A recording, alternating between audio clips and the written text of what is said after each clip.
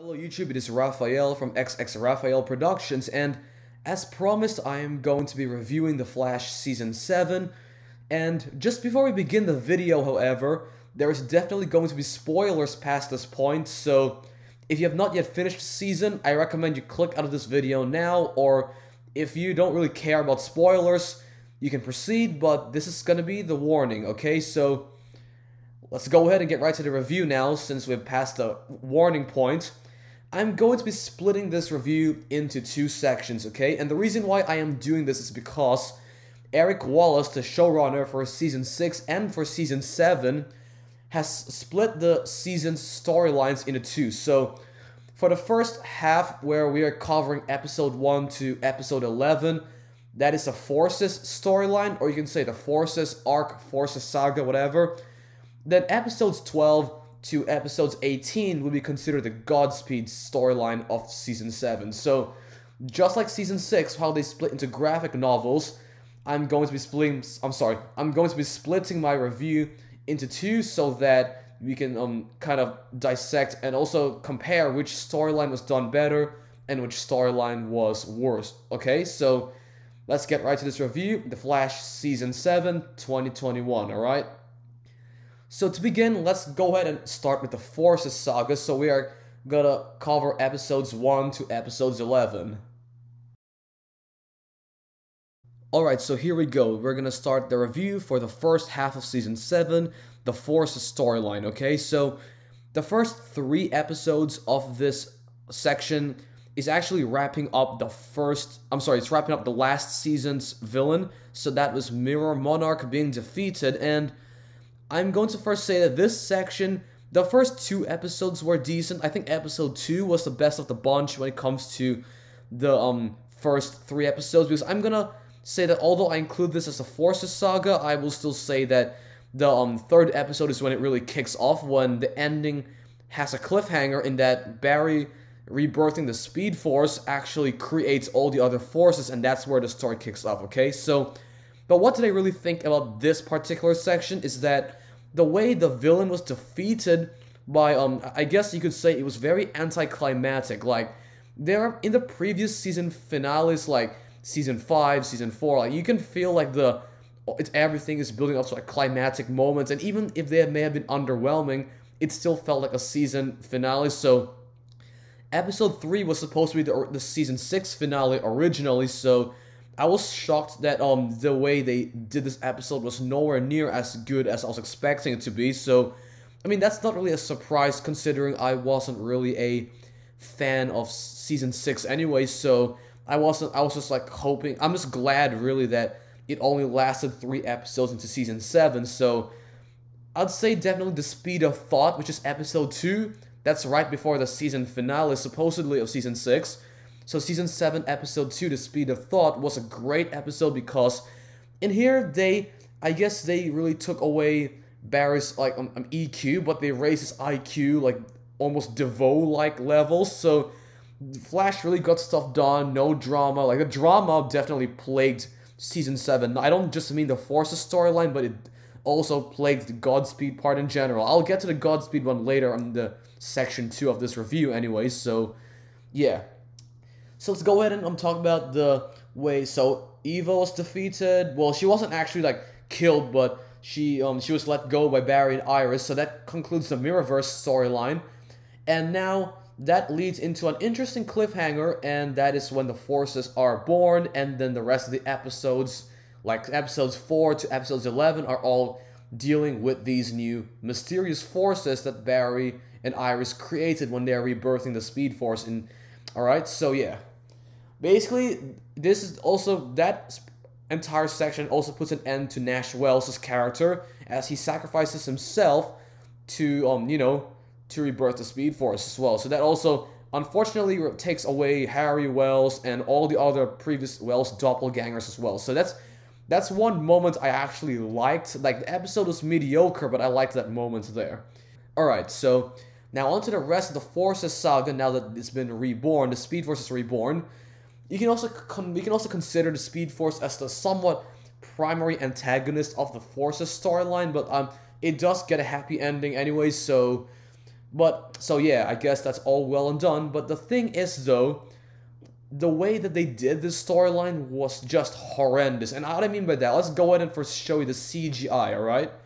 So these are some examples of the horrendous CGI that plagued the first half of season 7. Like, I don't even personally like I don't even know what they were trying to do with this. Like I they seemed like it was too ambitious for their own good, I guess, but however, I will definitely admit this that the guy who plays Psych, uh, I think his name was Bashir, like in the in the show. I don't know the actor's name in real life, but he's the Sage Force, and the way they did his scenes were good. I'll be honest here. Now, the CGI again, like the way his face is, it kind of looks odd, but either way, the horror scenes when he's showing the main character's fears and I guess the horror type of vibes, because the Flash has gone in that direction in the first half of season six as well during the Bloodwork saga. So when it comes to the Sage Force and the scenes that he got on, in his episode, like his respective episodes, that one was pretty good. So that's one positive, I guess, when it comes to this. But overall, though, like I said before, they could do they could have done much more. Like they, what it feels like they really scraped the bare minimum overall for these kind of characters. Like like if you think about it, the the entire idea on paper, it sounds great. Like we have all these forces manifested into people. Like that sounds good. Like I that's very comic book like, but the way that they did this, it just didn't work. And the it was it's even made worse by the fact that a lot of these fighting moments like um are usually they usually like resort to talking down the enemy unlike in previous seasons where they actually have a good fight. Like there were there were still some good fights but it's kind of like they they downplayed it a lot and they overplayed the um like the, the emotional drama a lot more. That's definitely contributed to why this first half was, was so boring. I i actually like got up to like maybe episode 5 episode 6 or so and i was just like I wonder what direction Eric Wallace is trying to take the show in because I I already knew like I already had a feeling that it wouldn't be as good because like of season six. I did I did not like season six, but like I still though let me just say that I actually did prefer season seven to season six, so that's one good thing I guess.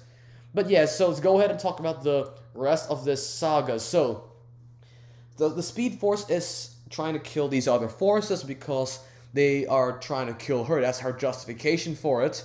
And she's trying to get Barry to help her. Now, Barry, obviously.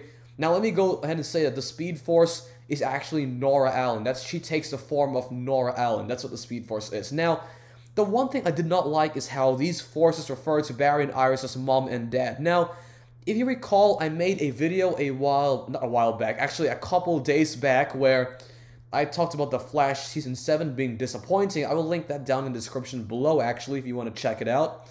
I said something about that these kind of moments where the, the, the um, forces are calling Barry and Iris mom and dad or their parents or whatever, as cringy as that was, I could see what Eric Wallace was trying to do since they are trying to set up Barry and Iris's future children, future families. So it's like they're trying to get these to to learn parental like lessons. Like they're they're becoming better parents along the way as the forces also be the antagonist for this half of the season. That's one interesting concept. I actually liked that but it, that's the thing. The concept i liked but the actual execution of the idea was a big failure. I i was as i said before i i know what they're i know what they were trying to do but it just did not work period. I I know I said that in my other video, but I am going to say it here again because that part is very important just in case people might say, oh, well, Rafael, you don't know what they're trying to do. So I let me tell you, I know what they're trying to do. So I just think that the way they could have executed it could have been def- I'm sorry, the way they executed this could definitely have been much better than what we saw on screen, okay? And I just wish even if they even if they wanted that to be the case, I just wish they toned down the mom and dad thing. Like even even in the Godspeed like half of this season, they when the forces occasionally return, they referred to still refer to them as mom and dad, and it just took me out of the moment. I, I tried my hardest not to, but it just didn't work. I I promise you, I don't know why they did that, but yeah. So let's go in and talk about the characters now, since we've already talked about the forces and now the, the forces though, the actors actors are great, the actors and actresses are great for the forces, so it when it comes to why I am not a fan of how they were executed, it's nothing to do with the actors. It's more of the script. At the it's no secret that this show's writing is the weakest point of the whole show. Like, what keeps this show interesting is the fight scenes, the character um, development, the world building are all what keeps this show watchable. But when it comes to the actual plot, though, that's when it usually suffers the most. It's been like it's been this case ever since season three, so I'm not really surprised anyway. So yeah. Now let's go in and talk about the okay. So I already talked about the forces. Let's go and talk about the characters. Now, honestly, I always felt that the characters like this season they just I don't know like it feels like the characters like interactions they got less enjoyable to watch this season. Now, like I said before, I'm not a fan of season 6, but even then at least when they were building up to the crisis on Infinite Earths, it still showed their like chemistry that they built up over the past 5 or 6 seasons, right? So that's that's one thing I wish season 7 did better on. Now, it's still a better season, but I think that it's missing that charm that it used to have in the previous seasons, and that includes even the first half of season 6 as well. Okay? Like, what I mean by that is that you compare, look at, like, Candice, um, I'm sorry, Candice Patton, I hope I pronounced her name correctly, I hope.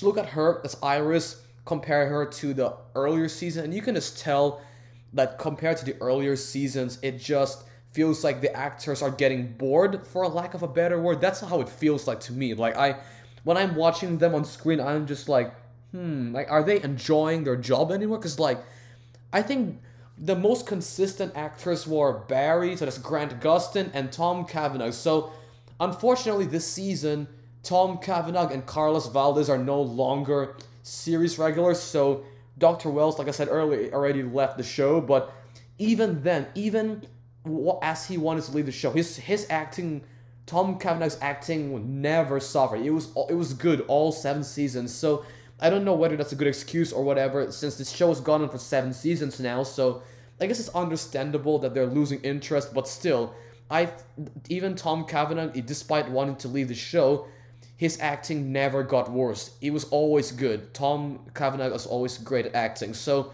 I don't know whether that excuse flies for the rest of the cast, alright? Because so far, the only like enjoyable like characters so far is like this definitely Barry Allen. That's Grant Gustin. He's still the most consistently good actor out of the cast we got so far, and probably to an extent, um, who was that character? I think, uh, yeah, some other character was, uh, yeah, I think Chester. Like I, I actually wasn't a fan of Chester at first. Like I, I thought he was like you know like annoying at some moments, but still there were he grew on me on that episode where they went back in time and Chester talks to his dead dad. I'm sorry, Chester talks to his dead father. So at least that moment kind of redeemed his character, and he he just improved overall. So definitely Barry Allen and then Chester um P Runk. Those two characters are like the consistently like interesting ones, and it feels like the rest of the characters are just there. Especially Allegra doesn't feels like they don't they don't know what to do with her character really. Like I mean she does improve as well in the Godspeed saga. I'll get to that in the second section as promised. So uh, let me just say that for the first half, they really screwed up a lot of things, like the potential.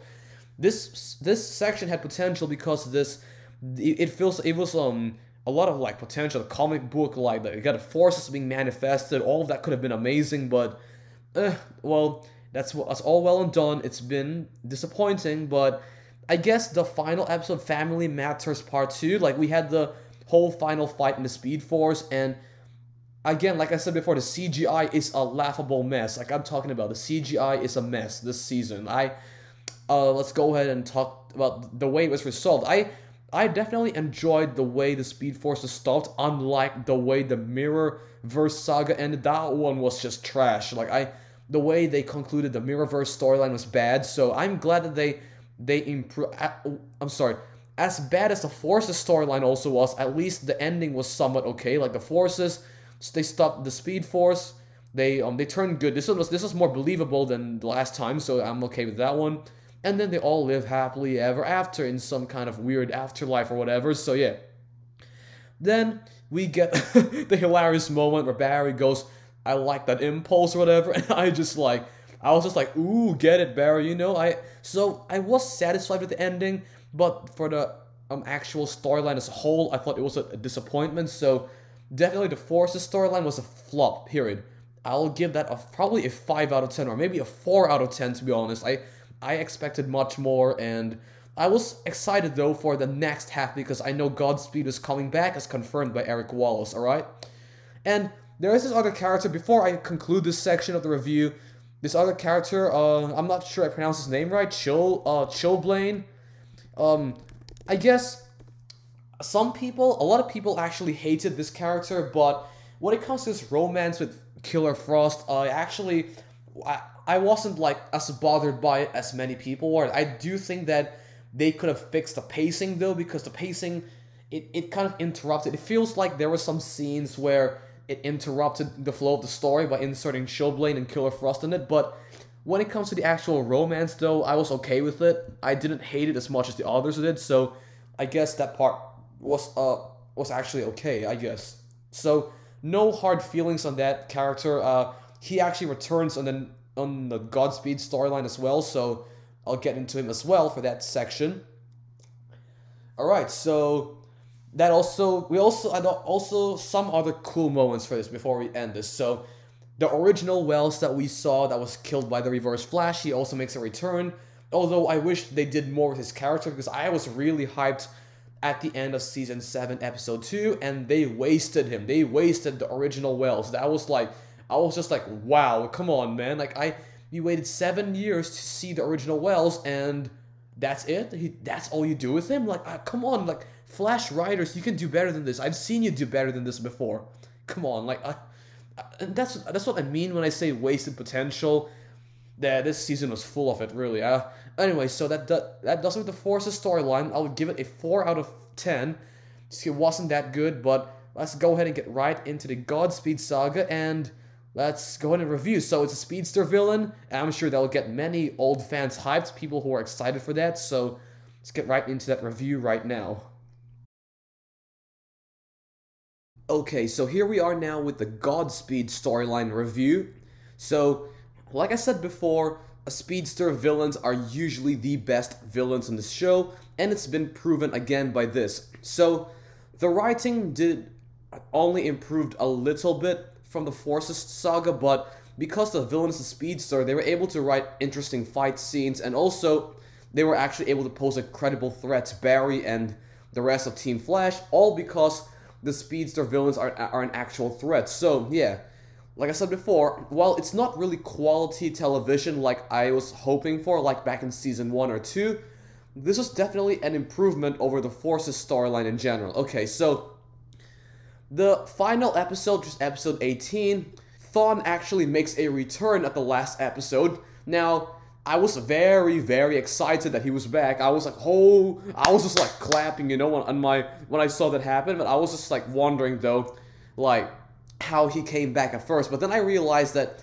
the Speed Force must have rebirthed. I mean, not rebirthed, but the Speed Force in that episode must have kind of reconstructed Thawne's body because in season six, the last time we saw Reverse Flash he was negative tachyons before being expelled from Nash Wells. That was when Reverse Flash was possessing Nash Wells, okay? So that was a pretty cool moment. And then we got this interesting moment here where Godspeed actually creates sort of like a lightsaber sword with lightning. And I was just like, hmm, very interesting moves. Like, we have not seen this before. Like, haven't really. I mean, the only.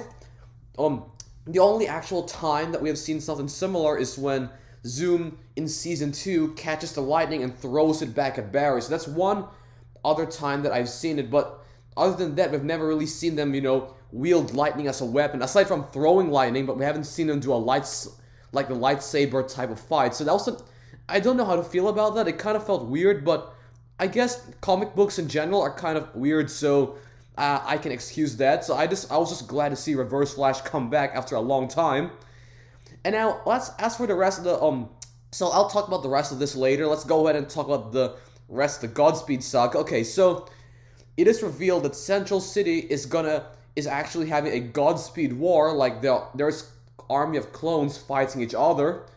And we also have Kramer and Joe kind of like I guess they're looking into some kind of case and there it's a kind of side story while the rest of Team Flash is kind of fighting the Godspeed War, and then this this Forces saga, they they actually I liked how they were utilized here, unlike last time. Like Nora Allen, the Speed Force Nora coming back and giving all the speedsters an energy boost, for example. Jay Garrick finally making a return. And the best parts really Bart Allen and Nora West Allen. Now, this is something that I liked. Okay, the actress of Nora West Allen, she did a good job contrasting the character from season 5 to season 7, okay? So there is a drastic difference, although it's the same actress, there is a drastic difference in the way Nora West Allen acted in season 5 and how she acted in season 7. So she did a good job contrasting the character to make it to make it evident to the viewers that they are very different characters despite having the same face, alright? Bart Allen, Impulse, uh, I guess the actor was Jordan, I think Jordan Fisher. Yeah, Jordan Fisher was the actor. And yeah, he played Impulse pretty well. I honestly though, he played Impulse better in the I guess the season finale. Like the first introduction episode, I didn't like him. I I, I think he was kind of like I know he's meant to be impulsive, but he was more annoying than charming at the first time, but then on the season finale, he actually improved in the acting. So I good on him for that, and good on the actress of Nora West Allen. I guess it was um Jessica Park Parker Kennedy, yeah, Canadian actress. All right, so she did good as Nora Allen again, just like in season five. And Kramer was revealed to be a meta uh, as well. So I guess it kind of makes sense when when they are when it was showing us the side story of Joe West and Kramer trying to figure out like you know the mystery and stuff. So I like the way it all the plot threads came together, and I also loved the way Team Flash was was all, all utilized in the fight, just like in season five where you know Ralph, Iris, Barry, Nora, and Cisco and Killer Frost are all fighting Reverse Flash. I liked how they all utilized like not no one was useless in the final episode. That's what I liked about that one. All right, so it's not perfect. Don't get me wrong. It's not perfect, but it is definitely a step up compared to the first half of the season, alright? So, one thing that I did not like, though, is how it's mecha vibe, okay? This is probably an unpopular opinion. I know Cisco left the... Well, Cisco left as a series regular at episode 12. The Godspeed saga started at episode 12, but it Godspeed himself showed up at episode 15, just to get out of the way. So, Mecha Vibe felt pointless because, you know, you realize Cisco gave up his powers in season 5 to have a normal life with his girlfriend, um, and then now it just kind of feels like if he's gonna be Vibe again, like, why don't he just keep his powers and learn to control it rather than completely giving it up, you know? Because, like, something like Vibe, you have you have a powers to open portals to any place in the multiverse, you have you can fire energy blasts, you can teleport, not, no, not teleport, but you can you can open portals to a given location like instantly. So I don't know why Cisco would ever give that up. Like if he was just gonna come back and become Mecha Vibe anyway. So I just really didn't like the way they handled Cisco's character this season. In fact, not just this season, but his the way his character was handled ever since the end of season three was already not that good. So. Eh, I guess it's just, just a result of an ongoing problem with Cisco's character, alright? So now, on to August Hart, the main villain of the second half of Season 7, alright? August Hart, so what do I think about August Hart, the Godspeed, alright? The real Godspeed. Well, one thing I'd like to mention before I get into his character is that he was actually recasted this season compared to Season 5 where we had a different actor that time. So, it's still the same character, like, um, in terms of the show in in-universe, it's still the same character, just think of this like Iron Man when they recasted Rhodey, for example. That's a good example of a recast without changing the character in general. So yeah. Okay, so I just feel like they could have given Godspeed more more screen time because look, the Godspeed saga started episode 12, but we wasted that with um the Esperanza storyline and Allegra's side character arc. So we also well, I guess Chester though Chester actually improved this season. And almost one funny thing I like to mention is um, Allegra's speech, not well, not speech, more like her quote at the final episode where she goes like she's tired of the pep talks, and I'm just like, yeah, I agree, Allegra. Like the pep talks need to come to an end. I swear, this season was full of it. But yeah. Okay, so that's one thing I wish they gave Godspeed more episodes. Like I know that his storyline started in episode 12, but we never really saw Godspeed until episode 15, so I just wish that they gave him more episodes. Like if they I was thinking at first that they would continue the Godspeed saga into season 8, but then they actually ended up with arresting him and putting him in Iron Heights. So I guess that's the end of Godspeed. Well, it was finally it's finally nice to see Godspeed at last after season 5, season 6, and now finally we saw the real Godspeed, but still. Uh, although the Thawne coming back, now, now, here we go. So, like I said before, Godspeed was kind of wasted because, like, they could have built him up more in more, like, as we are leading up to the final fight. Instead of him being the generic, I'm just gonna, I'm gonna take your speed bear, okay, I'm gonna take your speed barrier or I'm gonna destroy the city, you know? Just a typical villain, really. Now, his motive, this was revealed, he wanted organic speed instead of having artificial speed, so at least that connects with his storyline back in season 5 where he's trying to make a velocity serum that lasts forever, right? So that I guess that, that makes sense. That connects with his introduction episode. Now, Thawne coming back. This is gonna be good, folks. This is the best part of the episode. Thawne makes a return. And I liked August Hart like saying stuff like he wants to be evil rather than just turning good. Like I was hoping that you know with Cecile saying that August was re- feeling remorse, I didn't. I was hoping. I was really hoping that that didn't happen, but I'm glad it did not happen. I I actually was like, ooh, okay, so August Hart is still evil deep down. All right, so that was a good twist. And now Reverse Flash coming back. They did some really interesting um speedster fight choreography this episode. All right, look at the in this picture right now that I'm showing you, they actually conjure up lightning swords, so they're like a similar speedster type of fight, but it's kind of like Star Wars combined. And although that was kind of ridiculous, but I was just, I guess I was just glad to see Reverse Flash come back. It's been a long time, so I'm not gonna really hate on this part. And the best part definitely is when Reverse Flash turns on Barry, but then Barry like just goes like, "Oh, I got much faster than you thought." And I'm just like, you know, I was just clapping. That was just so good. Like I, the, like I said before, no matter no matter how bad this show becomes, Reverse Flash and Bear, I'm sorry, the Flash and Reverse Flash's rivalry story continues to be the show's the show's strongest central point. That was just like the best part. I was hyped up. Like I.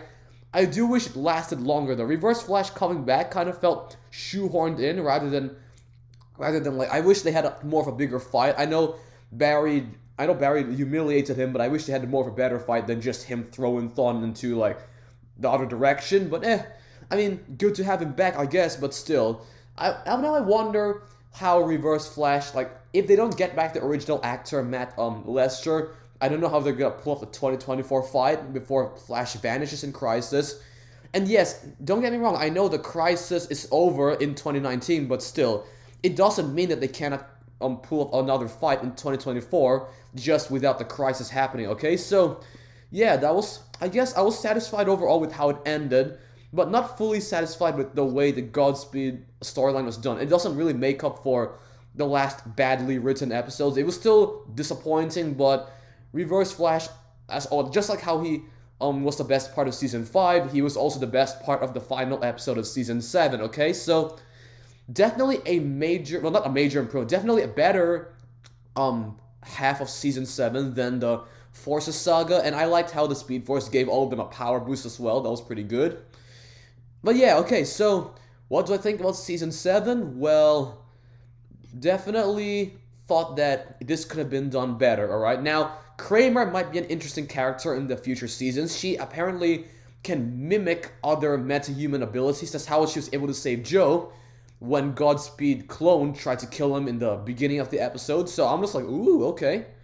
And then the Flash family fighting around. See, like I said before, I know that the Forces storyline where they are trying to call Barry and Iris mom and dad, it was all just to set up their future family and stuff. So it all came together in a nice way. But unfortunately, the moments leading up to that were just badly written and could have been executed better, right? So not a bad final episode, but the rest of the episodes were not really as good though. Okay, so yeah.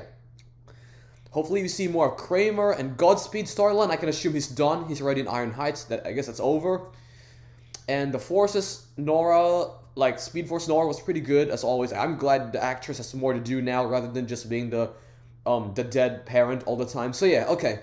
Now as for season seven, my final rating. So the Forces storyline would be probably a four out of ten. I really did not like that one too much.